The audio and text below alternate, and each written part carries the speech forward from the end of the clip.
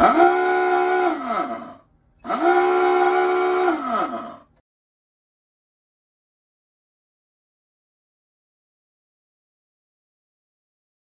everyone, welcome aboard Submarine Becuna here at Independence Seaport Museum in Philadelphia. My name is Greg, and on today's video we've finally made it to the other end of the boat. This is the aft torpedo room. The aft torpedo room is the last compartment on the boat. The differences between it and the forward torpedo room up at the bow are minimal.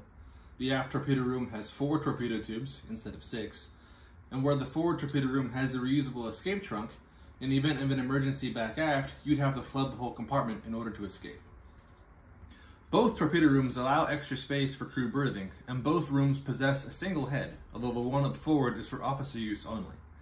Because the function and description of both torpedo rooms are largely the same, we're going to spend this video talking about something we haven't yet discussed, and that's the torpedoes themselves. Becuna carried an average of 24 torpedoes in total when she put to sea. 10 would be preloaded in the tubes, with 6 up forward and 4 back aft, ready to be used at a moment's notice. The other 14 were kept as spares on sleds, with 8 up forward and 6 back aft. It could take 12 men up to 10 minutes to reload a single tube, and it was impossible to get a spare torpedo from one end of the boat to the other. This meant that a captain and his fire control party had to be mindful of how many torpedoes they had left and where they were located when lining up for an attack. Becuna carried a number of different torpedoes throughout her career, including the problematic Mark 14, the electric Mark 18, and the acoustic homing Mark 37. This is a Mark 14 torpedo, the most common type of torpedo used by American submarines during World War II and the early decades of the Cold War. It's 21 and a half feet long, 21 inches in diameter, and weighs a little over a ton and a half. It has an effective firing range of 4,500 yards at 46 knots or 9,000 yards at 31 knots. It was first deployed in 1931 and remained in service until the late 70s, early 80s. The Mark 14 can be broken down into four parts the warhead, the air flask section, the afterbody, and the tail. The warhead is the business end of the torpedo. It carried an explosive charge of roughly 650 pounds of either TNT or Torpex, plus the detonator. The Mark 14 was typically equipped with either a magnetic detonator or a contact detonator. The magnetic detonator was meant to explode the torpedo when it sends the magnetic field of the hull of the target, while the contact detonator was meant to explode under impact. Both detonators had their fair share of trials and tribulations during World War II. The air flask section contains the air compartment, the water compartment, the fuel flask, and the midship section.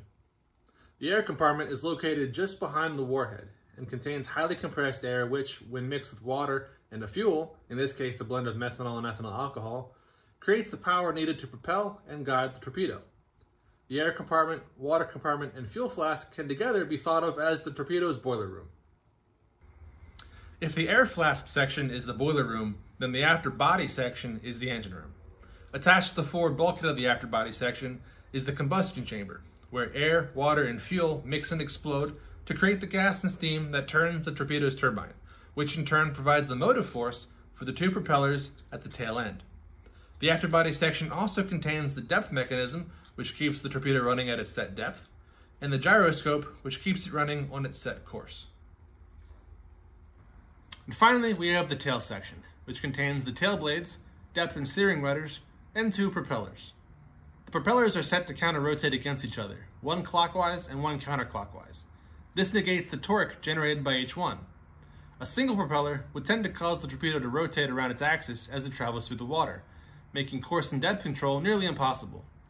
Two propellers that are set to counter-rotate provide stability as the weapon travels to its target. Well, that does it for this video. If you enjoyed it, let us know by liking and sharing. Then head down to the comments section and leave us suggestions on what you'd like to see us cover in future videos. As always, thank you for watching, We'll see you next time.